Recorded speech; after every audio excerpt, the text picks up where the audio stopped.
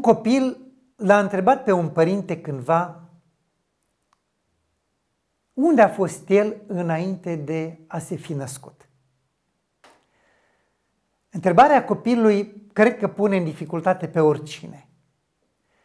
Părintele însă, e vorba de părintele Epifanii Teodoropoulos, care avea o viață duhovnicească sporită, deci părintele a găsit răspunsul dumnezeesc și a spus așa, înainte de a te fi născut, erai în gândul lui Dumnezeu.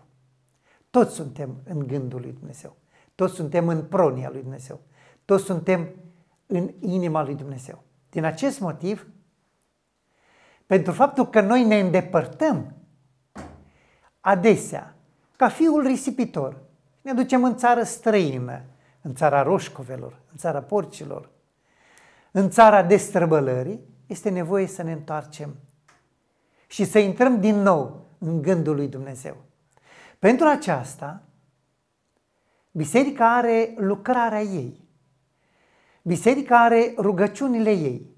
Noi înșine avem lucrarea noastră cu Dumnezeu, taina noastră cu Dumnezeu. Îl rugăm să ne reprimească. Ne venim în fire ca fiul risipitor și ne întoarcem în casa tatălui. Și tatăl ne primește. Pentru aceasta trebuie să ne căim pentru ceea ce am făcut. Trebuie să ne și întoarcem, nu să rămânem departe. Ce facem cu cei ce au plecat deja de aici?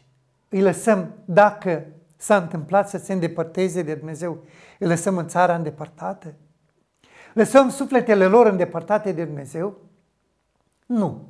Noi cei care suntem într-o comuniune continuă, aș spune eternă, veșnică, suntem în comuniune cu cei ce ne-au fost apropiați, ne-au fost rude. Purtăm același sânge cu unii dintre ei, avem același sânge. Ce facem cu ei? Îi lăsăm în țara îndepărtată? Nu. Ne rugăm pentru ei. Și atunci, biserica a rânduit ca să ne rugăm la cel mai important moment liturgic, la cel mai important act liturgic, și anume la Sfânta și Dumnezească liturghie. De aceea îi pomenim.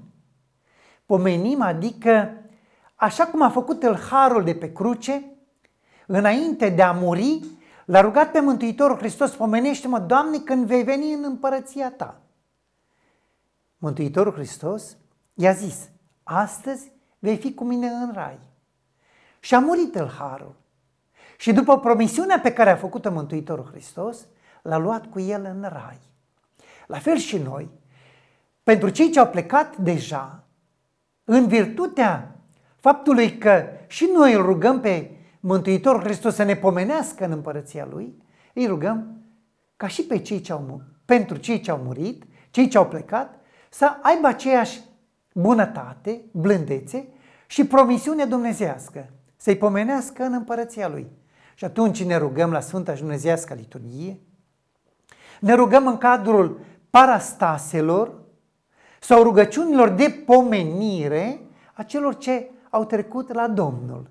Nu este vorba de ceva care ține de lumea aceasta materială. Sigur că însoțim de multe ori aceste rugăciuni ale noastre și de acte de binefacere pe care le săvârșim, le împlinim în numele celui ce a trecut la Domnul, adică în numele celui ce nu mai poate să facă actele acestea, dar pentru El le facem noi din dragoste pentru El și din dragostea lui Dumnezeu pentru noi, suntem convinși că Domnul îi va primi.